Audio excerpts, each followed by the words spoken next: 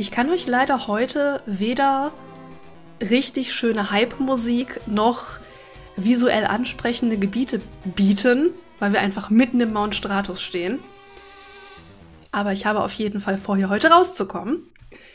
Beim letzten Mal haben wir auf jeden Fall wieder fleißig erkundet. Wir haben auch sehr viel Backtracking übernommen, auch wenn gar nicht so viel letztendlich zu tun war, wie es eigentlich aussah. Aber wir haben zumindest alles soweit abgeklappert, haben auch ein Random Eye gefunden, haben ziemlich auf die Schnauze bekommen von dem einen Level 50er Dragoran-Trainer, aber das gehört ja schon dazu. Und haben auf jeden Fall auch unseren, ich glaube mittlerweile siebten Orden bekommen.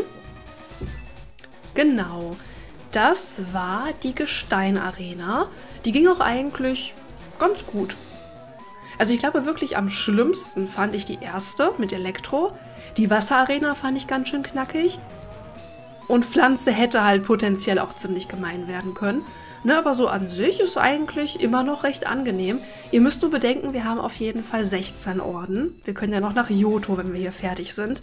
Deswegen, wir kommen zwar eigentlich recht flott durch, wir haben aber auch noch eine ganz andere Region abseits von Tunot. Dementsprechend darf man das auf gar keinen Fall vergessen, dass das Spiel doch einiges an Umfang hat. Und ich denke, dass wir jetzt so langsam auf Storyfinale zulaufen. Ganz kurze Zusammenfassung dessen. Wir haben die Welt der Pokémon und wir haben eine Welt ohne Pokémon, die parallel existieren. Und Mew hat die Fähigkeit, wohl irgendwie zwischen beiden Welten hin und her zu wechseln. Und wir lustigerweise auch. Wir sind ja aus Versehen mal in der anderen Welt gelandet und haben dort auch schon jemanden kennengelernt, dessen Namen ich vergessen habe. Nicht weiter schlimm. Gab nur einen, ihr wisst, der eine Typ da. Und Team Fusion, das sind die netten Herren da in Orange, wollen Mew für ihre eigenen Zwecke benutzen. Und deswegen haben wir uns ja schon öfters mit denen angelegt mit den Rüpeln, mit dem Boss, mit der Frau vom Boss, der jetzt angeblich Dialga, Palkia und Geratina gefangen hat und jetzt irgendwas Lustiges oben bei der Sperrsäule, wie auch immer das hier heißt, machen möchte. Was es mit Mew zu tun hat, weiß ich nicht. Werden wir bestimmt herausfinden. Dementsprechend denke ich, wie gesagt, heute vielleicht das Story-Finale. Ob ich das unbedingt hören möchte, ist die andere Sache. Bislang ist die Story ja doch noch Vielleicht ein bisschen intensiver als in normalen Pokémon-Spielen, aber auf jeden Fall noch erträglich. Bin mal gespannt. Und vielleicht schaffen wir ja sogar noch die achte Arena, da können wir aber erstmal nicht hin, weil ich keinen Taucher habe. So, unser Team. Wir haben nach wie vor dabei Gundam, unser Akani. Naming Theme ist immer noch Danganronpa. Ich will immer die Soundeffekte aus dem Title Screen machen, sobald ich Danganronpa gesagt habe. Aber ich kann sie leider nicht akkurat nachmachen. Ich würde ja auch immer noch Akani austauschen wollen, weil Akani ja doch, sag ich mal, recht basic ist. Ich habe allerdings noch nichts Passendes gefunden. Alternativ nehme ich auch sehr gerne einen Flammenwurf. Denn das Moveset sieht ein bisschen zusammengewürfelt aus. Aber es funktioniert. Dann Nagito, unser kleines Sorgenkind. Ich meine, das Moveset ist super. Die Entwicklungsstufe nicht. Alternativ kann ich auch noch Maki, unser Glaciola, anbieten. Das ist eigentlich ziemlich gut aufgestellt. Ibuki, unser Luxtra, unser Starter. Ich meine, mit Donnerblitz und äh, Knirscher kann man eigentlich nicht so viel falsch machen. Kibo, unser Galagladi. Eine Psychoattacke würde ich auch noch nehmen. Das ist so, ich weiß nicht, ein sehr seltsames Galagladi-Set, aber es funktioniert. Und Shuichi, unser Sumpex, was eigentlich ja auch nicht eingeplant war, aber es ist einfach so gut mit Erdbeben und Siedewasser und Eisstrahl. Deswegen schwierig. Aber ja, das ist so der Stand der Dinge. Ja, der 255 Stärketrugschlag. Warum auch immer. Ich meine, der in Anführungszeichen Nachteil ist natürlich, dass du den Gegner nicht one-hitten kannst. Also egal wie stark die Attacke auch ist, du kannst sie nicht one-hitten.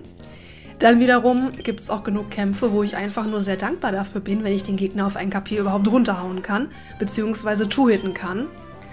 Dementsprechend, ne? Gerade bei so harten Brocken nehme ich die Stärke auf jeden Fall sehr gerne. Gut, wie gesagt, du kannst halt nichts mit einem Schlag besiegen. Aber, ne, wie gesagt, den Gegner so krass runterzuhauen, ist auf jeden Fall auch schon mal viel wert. Als Kind, lustigerweise, wollte ich Trugschlag auch benutzen, weil, ne, ist ja eigentlich eine gute Sache zum Schwächen. Nur Ne, ich weiß nicht, Trugschlag ist, glaube ich, Gen 2. Vielleicht auch Gen 1, ich weiß es gerade nicht, aber ich habe es in Gen 2 zum ersten Mal benutzt, das weiß ich. Und da war ich sieben, sieben, acht Jahre alt. Und ich habe die Attacke nicht so ganz verstanden, weil ich davon ausging, dass Trugschlag so funktioniert, wie es hier in diesem Spiel funktioniert. Nämlich, dass die Attacke einfach extrem stark ist und den Gegner safe auf 1 KP runterhaut. Das hatte ich mir gedacht. Und es hat aber ja nicht funktioniert. Ne? Also wenn du natürlich ein Pokémon hattest, was halt jetzt nicht gerade komplett OP ist, dann haut es den Gegner natürlich nicht auf 1 KP runter, sondern vielleicht, keine Ahnung, zieht die Hälfte ab oder so. Ne? Je nachdem. Und da habe ich echt gedacht, ich habe das irgendwie falsch verstanden oder die Attacke ist kaputt oder ist voll doof oder so. Ich finde übrigens schön, wie hier einfach alles daneben geht die ganze Zeit. Nämlich, das hat mich als Kind sehr irritiert, weil ich halt wirklich davon ausging, okay, Trugschlag, das machst du bitte nicht. Ne, setzt den Gegner immer auf 1 KP runter. Und das hat es eben nicht gemacht und deswegen habe ich die Attacke sehr lange nicht mehr angerührt. Oh, jetzt habe ich mal ein bisschen Schaden bekommen. Ein bisschen Schaden ist gut. Ein bisschen viel Schaden bekommen. Immerhin hat der Wuchtschlag nicht getroffen. Das finde ich gut. Ja, so von daher gesehen, Trugschlag ist schon eine echt gute Attacke. Nur in den neueren Gens, also ich weiß nicht, ob es in den neueren Gens liegt oder ob es einfach an mir liegt, nur wenn ich den Pokédex vervollständige, beispielsweise in Schwert und Schild, ich brauche Trugschlag eigentlich sehr selten, weil ich sowieso 90% der Pokémon mit einem Flottball fangen kann. Wie gesagt, ob das jetzt daran liegt, dass es irgendwie in Schwert und Schild leichter ist, weiß ich nicht oder ob das einfach schon immer so war. Aber gerade da habe ich super viel Glück mit den Flottbällen gehabt. Gerade so in der Naturzone einfach durchgelaufen, überall den äh, Flottball draufgeschmissen und alles gefangen. Deswegen, da habe ich äh, Trugschlag sowieso eigentlich gar nicht so gebraucht. So, da kann ich rein. Mal gucken, wo ich überhaupt lang muss und ob ich Schutz noch aktiv habe. Aber klar, dass die Attacke hier so stark ist, ist schon ganz nett. Nur trotzdem, Psychoklinge wäre schon noch ganz nett. Gerade auch gegen die ganzen Kampf-Pokémon, die man hier gegebenenfalls noch hat. Oder auch ein Feen-Pokémon würde ich auch nehmen. Problem ist halt, Nagito macht nicht sonderlich viel aktuell. Hm. Ich habe als Kind nie Schutz benutzt, ich auch nicht. Ich glaube sogar, bevor ich angefangen habe zu Let's Playen, habe ich nie Schutz benutzt. Ich weiß auch ehrlich gesagt gar nicht wieso. Also mein Gedanke war halt immer, dass ich die ganzen Erfahrungspunkte von den wilden Pokémon gerne mitnehmen möchte, weil das sonst irgendwie verschwendet wäre. Und ähm, ich weiß nicht, es war für mich irgendwie einfach Teil des Spielprinzips, dass du eben ähm, durchs hohe Gras läufst, die Pokémon bekämpfst. Also wilde Pokémon waren für mich irgendwie auch wie Trainerkämpfe, so Pflichtkämpfe, sag ich mal und um eben auch die ganzen Encounter dann zu sehen. Ich glaube aber auch, dass ich als Kind sehr viel mehr Geduld hatte, was Pokémon betrifft, weil ich früher auch nie ein Problem mit der Geschwindigkeit von Diamant, Perl, Platin und Hardgold und Soul Silver hatte. Überhaupt nicht. Es hat mich überhaupt gar nicht gestört. Ich hatte als Kind nie das Gefühl, dass diese vierte Gen langsam läuft. Gar nicht. Also auch als ich danach die fünfte Gen gespielt habe, die ja fairerweise doch um einiges schneller läuft, also ich finde schon, die fünfte Gen ist verdammt flott, und dann wieder die vierte gespielt habe, mit dem Vergleich habe ich nie das Gefühl gehabt, dass die vierte Gen langsam ist. Lustigerweise, obwohl ich den direkten Vergleich hatte. Hier ist auch noch einer. Dann ist oben vielleicht eine Sackgasse. Deswegen, ich habe einfach als Kind so viel Geduld gehabt mit den wilden Pokémon, mit der Geschwindigkeit vom Spiel, bin auch immer sehr oft zum Pokémon Center zurückgelatscht und so. Das hat mir überhaupt ähm, nichts ausgemacht früher. Und erst als ich angefangen habe zu Let's Playen und halt wirklich so ein bisschen, ähm, ja, drüber quatschen musste, in Anführungszeichen, und auch von anderen Leuten andere Meinungen gehört habe, habe ich wirklich angefangen, okay, ne, vielleicht, ich sag mal, fürs Let's Play ist es natürlich schon noch mal ein bisschen angenehmer mit Schutz rumzulaufen, als wenn du jetzt jeden Encounter mitnimmst, gerade in der fünften Gen zum Beispiel. Da kannst du schon mal einen Part füllen mit einer Wiese. Ähm, also da hat das erst angefangen, dass ich wirklich gesagt habe, okay, fürs Let's Playen ist es vielleicht nicht ganz so praktisch, wirklich alles, alles, alles mitzunehmen. Plus, wie gesagt, ich habe dann halt auch viele verschiedene Meinungen gelesen, weil ihr müsst bedenken, klar, als ich angefangen habe, Pokémon zu spielen, so erste, zweite Gen, da war das noch sehr beliebt. Aber dann kam recht schnell die Phase, wo alle meinten, nee, Pokémon ist voll uncool, das spiele ich nicht, obwohl die das bestimmt alle gespielt haben. Und ich hatte halt wirklich nur die Meinung meiner Mutter. Meine Mutter war genauso gestrickt wie ich. Hat auch keinen Schutz benutzt. Und deswegen habe ich halt nie andere Meinungen gehört. Es hat mir nie jemand gesagt, dass die vierte Gen langsam ist. Ne? Deswegen, das ne, habe ich früher dann auch nie so empfunden. Mittlerweile bin ich ein bisschen ungeduldiger geworden, glaube ich.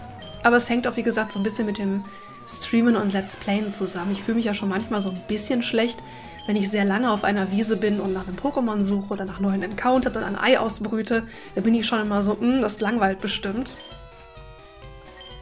Kai, ich weiß es nicht. Ich, ich habe ja vor einiger Zeit Platin gestreamt. Also es geht hier weiter und es geht da hinten weiter, okay. Und da hat es mich auch nicht so gestört. Da kann ich hochkraxeln. Ich habe keine Ahnung, welcher der richtige Weg ist. Okay, weil ich habe jetzt genau ne, zwei Möglichkeiten, wo ich hier lang kann. Und links waren halt noch Trainer, deswegen sah das für mich äh, eigentlich richtig aus. Da wäre noch ein Item. Ich gucke aber mal ganz kurz hier.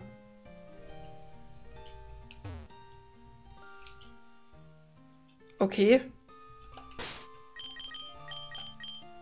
Ich werde mal ganz kurz speichern, falls irgendwas passiert. Ho!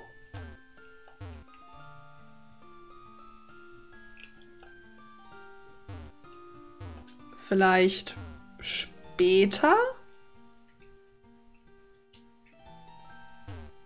Kommt mir die Musik hier eigentlich nur so leise vor oder ist die so leise? Aber die Musik ist für euch wie immer, oder? Ich habe da nämlich nichts dran verstellt. Dann ist die Musik da oben wahrscheinlich einfach nur generell ein bisschen leiser.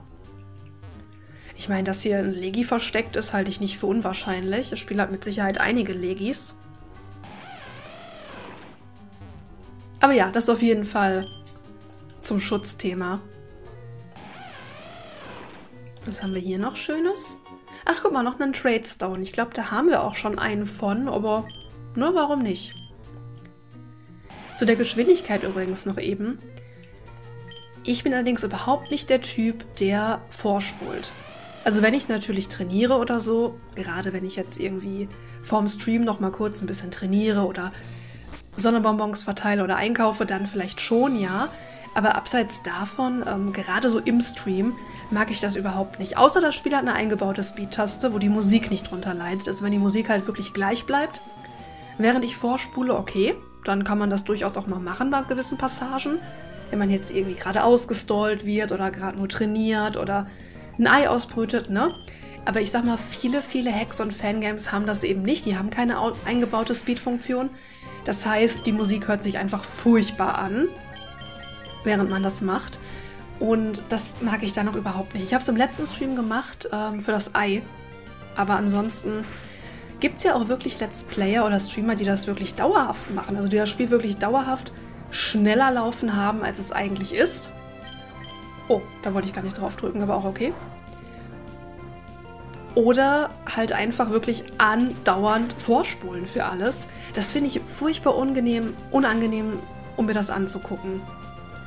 Also ich meine, wir haben natürlich alle so Situationen von wegen, ne, du bist verwirrt, vergiftet, du hast Sandsturm, äh, tausend Sachen und es läuft einfach so langsam und der Gegner macht Schutzschild und heilt sich wieder.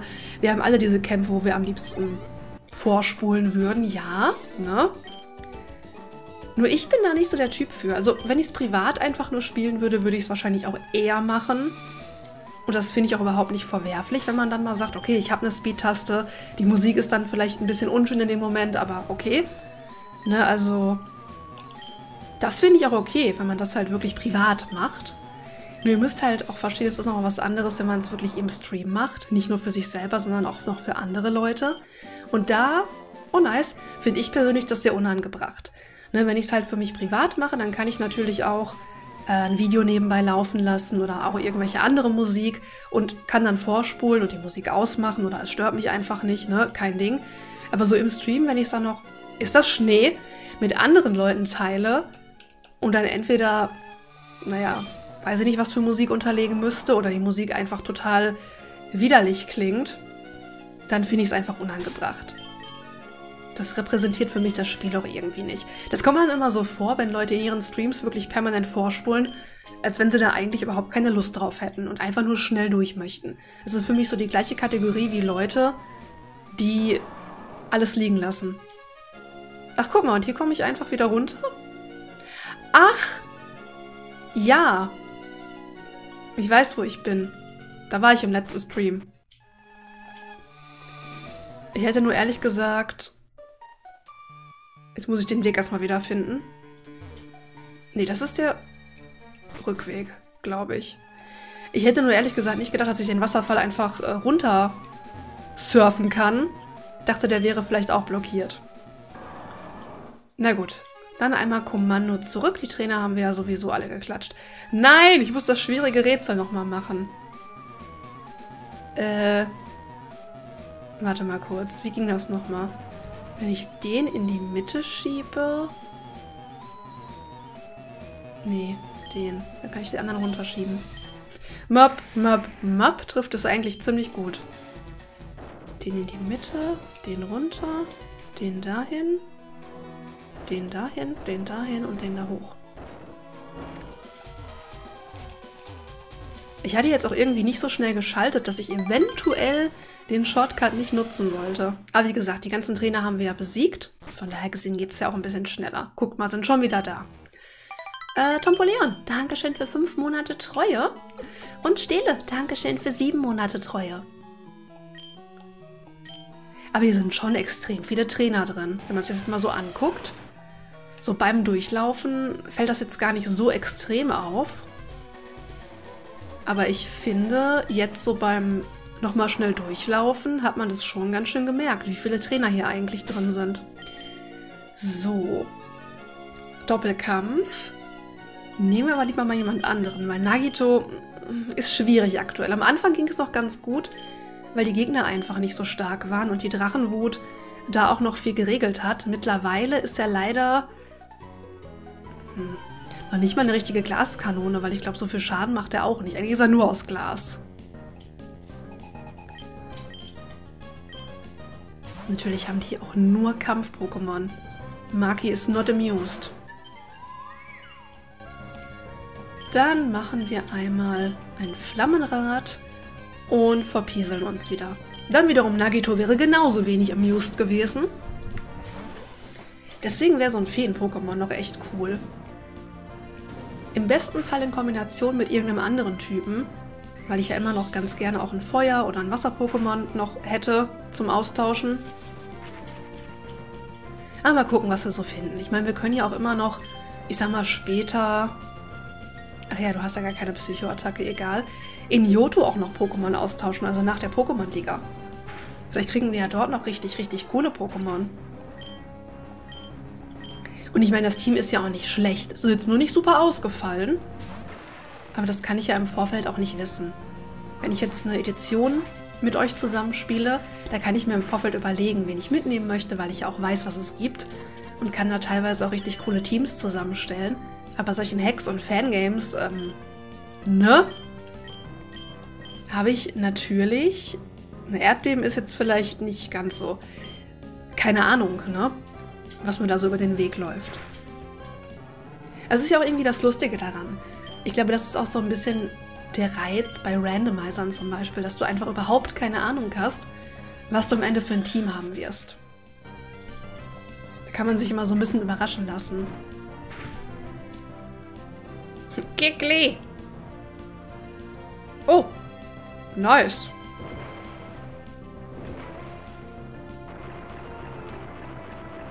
Glaube zwar nicht, dass Eruption jetzt noch so super viel bringen wird mit dem niedrigen KP-Wert, aber okay.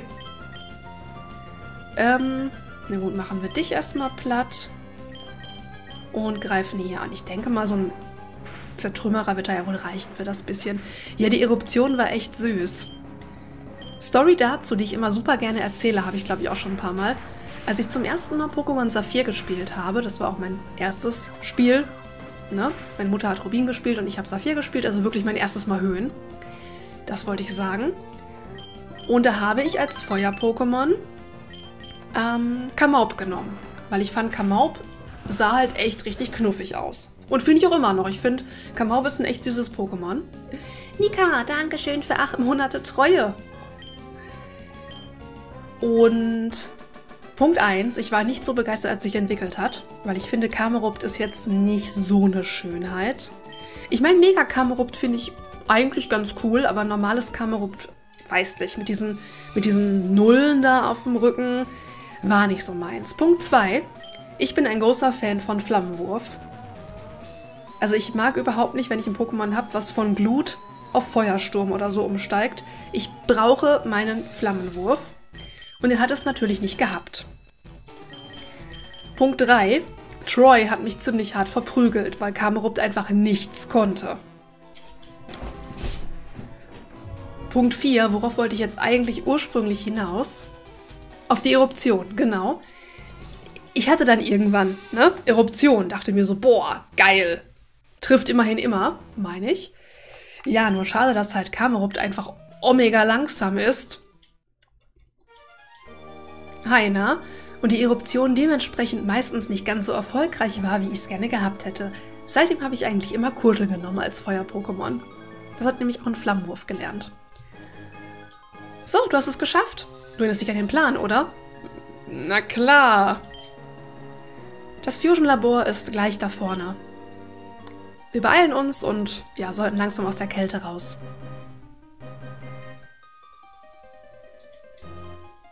Ich stelle sicher, dass niemand diesen Bereich hier betritt oder verlässt. Wenn du den Pokémon geheilt haben möchtest, dann werde ich das übernehmen. Nice. Das heißt, Henry steht quasi Wache, dass keine Verstärkung hier reinkommt und dass auch niemand rausläuft, heilt uns. Und wir können zusammen mit Blake durch den Schnee laufen und äh, ja, im Fusion-Labor gucken, dass wir die Pläne von Team Fusion vereiteln, die ich vorhin schon mal kurz erklärt hatte. Es ist ein bisschen antiklimatisch, dass hier jetzt einfach ein Labor steht. Also ich finde so, wenn ich an so einem großen Berg denke, denke ich automatisch an den Kraterberg und an die Sperrsäule. Und dann steht hier einfach total antiklimatisch so ein Supermarkt rum. Welcome, Trainer. Nothing to report. Ich glaube, Henry kann auch nicht so viel reisen, habe ich so das Gefühl. Der ist so der ungeliebte Sohn von Team Fusion und er hilft uns jetzt auch nicht so viel, aber er tut zumindest, was er kann. Oh, hier ist sogar noch ein PC. Das ist ja nett. Kämpfen.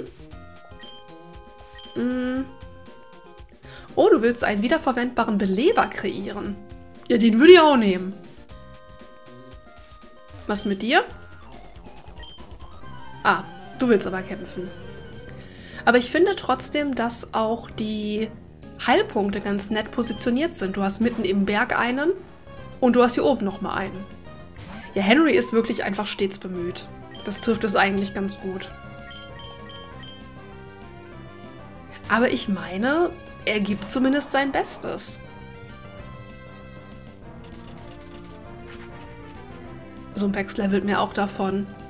Dann wiederum, wenn ich da oben tatsächlich Dialga, Palkia und oder Geratina bekämpfen muss, vielleicht nicht schlecht, ein bisschen zu leveln. Ja, die gute Musik. Generell haben sie sehr, sehr viele verschiedene Tracks hier eingebaut. Also auch wirklich mehr, als man denken würde. Du hast quasi die Stadtmusik und in den Häusern hast du teilweise nochmal andere Musik. Was ich eigentlich schön finde, dass sie wirklich so extrem viele Musikstücke eingebaut haben. Manches ist ein bisschen fragwürdig manchmal. Ja, aber an sich immer ganz schön, die ganze Musik zu hören.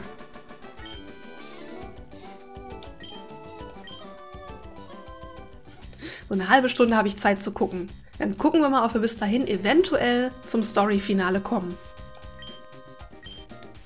Äh, das Passwort hat irgendwas zu tun mit April. Okay. Okay.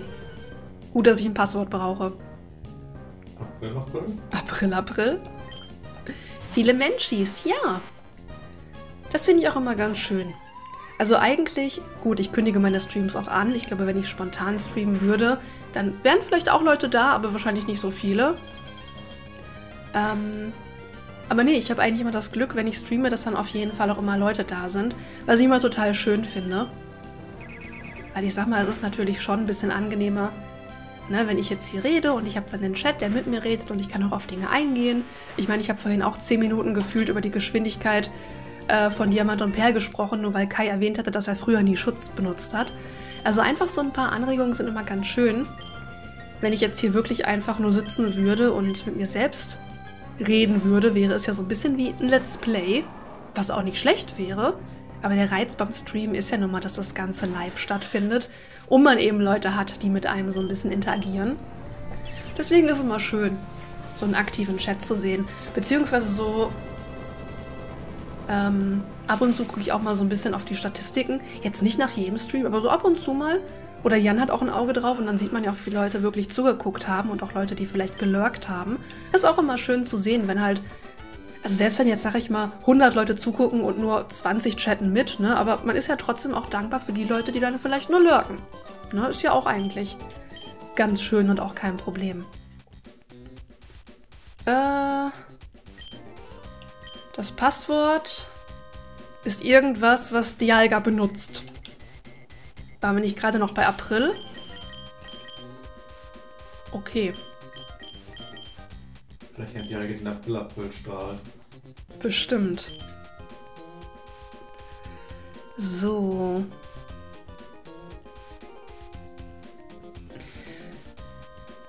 Das Ding ist schon so ein halbes Gesicht irgendwie da auf dem Tisch. Achso, du willst gar nicht kämpfen. Willst du kämpfen? Ja. April und Zeitenlärm, ja. Man weiß es nicht. Aber um auf das einzugehen, was Woggle auch geschrieben hat. Ich meine, es gibt bestimmt auch Leute, denen ist das vollkommen egal. Die haben ihren Tagesplan, der steht auch fest. Und wenn sie Zeit haben, gucken sie halt einfach, ob gerade irgendwo ein Stream läuft. Wenn ja, ist schön, wenn nicht, dann nicht, ne? Also das funktioniert natürlich auch, dass man einfach seinen strikten Plan hat und wenn man eben gerade Freizeit hat, dann kann man eben gucken, ob irgendwo ein Stream läuft. Nur ich persönlich mag es halt auch einfach für mich persönlich lieber, mir feste Streamzeiten und Tage festzulegen, weil ich bin sowieso ein sehr durchgeplanter Mensch, denke ich. Glaube ich. Ja. Okay. Ich habe halt für jeden Scheiß Listen. You're mine. Danke, Joker. Er will deine Liste haben. Joker für meine Liste? Ja, ich glaube auch. Ich gucke sofort nach, nach dem Kampf. Dann kann ich eben meinen Monolog noch zu Ende führen. Also wirklich für alles. Für To-Do-Listen und für Hausstuff und für dies und das. Ich habe, oder Kampf war kürzer als gedacht, aber ich kann mich noch eben heilen gehen. Also ich habe so viele Listen und ich glaube halt einfach, das härteste Material, was es gibt. Diamant? Diamant und Dialga würde passen. Was mit April zu tun hat, weiß ich immer noch nicht.